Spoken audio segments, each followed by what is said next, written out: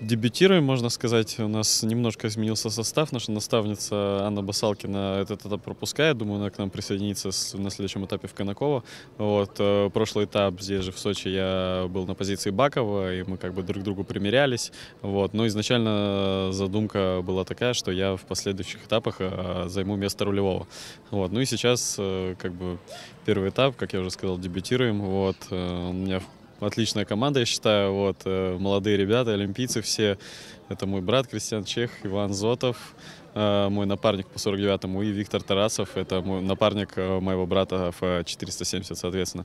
Вот, я считаю, что команда у нас отличная, пусть там приходами мы пока, не, может быть, не блещем где-то, вот, но тем не, менее, тем не менее ребята молодцы, и я очень как бы доволен работой, вот, и считаю, что с каждой гонкой мы прогрессируем и добавляем, вот, ну и надеюсь, что последующих этапах как бы наш прогресс э, продолжится, вот, и мы будем более достойно выступать.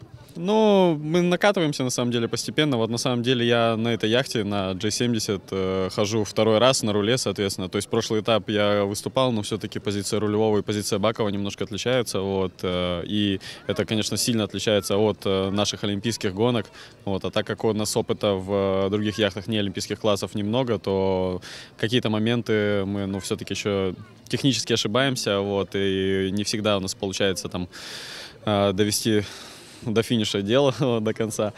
Вот. Но с каждой гонкой, с каждым днем мы прибавляем, это ощущается, то есть э, больше взаимопонимания в команде. Хотя все мы друг друга знаем, но тем не менее работа в экипаже в таком это как бы дело не одного дня. Вот. И постепенно мы прогрессируем, и как сегодня ну, уже подвели такие небольшие итоги вот по прошедшим гонкам, то да, дни складываются лучше, вот, и мы уже как бы более успешно выдерживаем свою позицию, нежели чем вчера.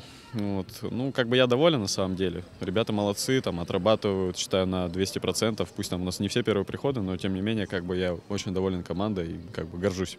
На мой взгляд, гонки в лиге, они помогают нашей олимпийской истории, вот, и в наших всех олимпийских проектах. Э, в первую очередь, это, ну, гонки здесь, э, как я уже мог для себя сделать вывод, они такие э, позиционные, тактические, то есть и все эти моменты, они применимы к яхтам любых классов.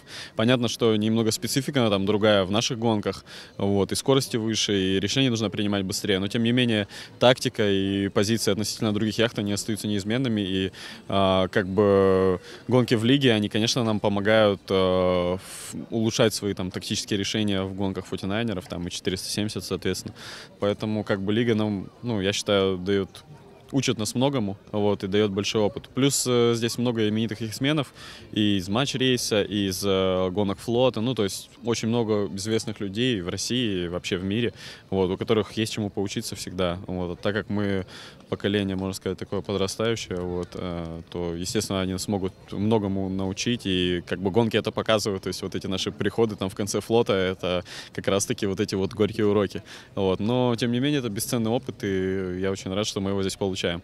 Вот. И как бы это ну, в этом году, по крайней мере, очень хорошо складывается с нашей олимпийской программой. Вот, и мы это воспринимаем больше, ну, как бы, если можно так сказать, как активный отдых, вот, потому что это все-таки смена деятельности, да, мы здесь напрягаемся, но, тем не менее, другая обстановка, совершенно другое проведение соревнований, вот, и есть возможность отдыхать и, как бы, гоняться, но мне, как бы, вот сейчас, так, когда, войдя во вкус, э, хочется гоняться больше, то есть не пропускать там по две, по три гонки между своими, вот, а гоняться одну за одной, потому что, ну, как бы, аппетит приходит во время еды, и хочется больше времени проводить на воде. Как бы самая ближайшая у нас важная регата вот в олимпийском фотинайнере это Ерская регата знаменитая, там, которая проходит уже много лет, и в этом году э, мы туда тоже поедем. Вот. Э, затем у нас э, будет э, этап Кубка Европы в Медемблике, это Голландия. Далее мы планируем поехать в Марсель в финал Кубка мира. Вот. Затем э, ежегодная кильская регата, такая традиционная, тоже достаточно известная. Вот. После чего в Польше планируется чемпионат Европы в классе футинайнер. И как бы кульминация вот, э, сезона, я бы так сказал, это чемпионат мира в Орхусе, где будут э, разыграны первые 8 олимпийских лицензий в э, футинайнере. Ну, вот, собственно, у нас как бы вся подготовка нацелена на это.